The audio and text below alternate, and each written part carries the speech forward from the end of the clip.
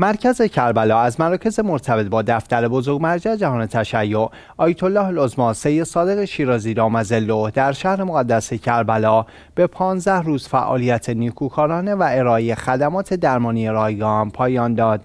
در این فعالیت که از اول ماه شعبان المعظم آغاز شد و تا نیمه شعبان ساروز ولادت با سعادت حضرت صاحب العصر و زمان عجل الله تعالی فرجه شریف ادامه یافت دهها خانواده یتیم و نیازمند مورد پوشش قرار گرفتند بر اساس بیانیه صادر شده توسط این مرکز خانواده های نیازمند و ایتام شهر مقدس کربلا از سوی نیروهای رسمی و داوطلب مرکز کربلا مورد درمان قرار گرفته و حتی خدمات آزمایشگاهی به صورت رایگان به آنها اختصاص یافت.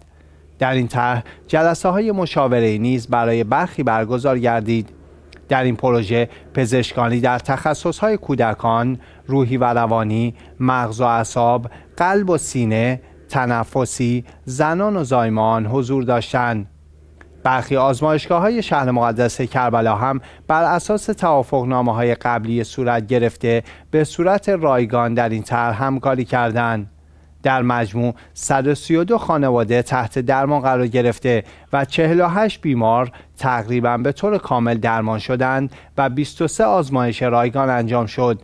این اقدام نیکوکارانه در عمل به توصیه ها و رهنمودهای آیت الله لزما شیرازی مبنی بر حمایت از نیازمند و ایتام صورت گرفت.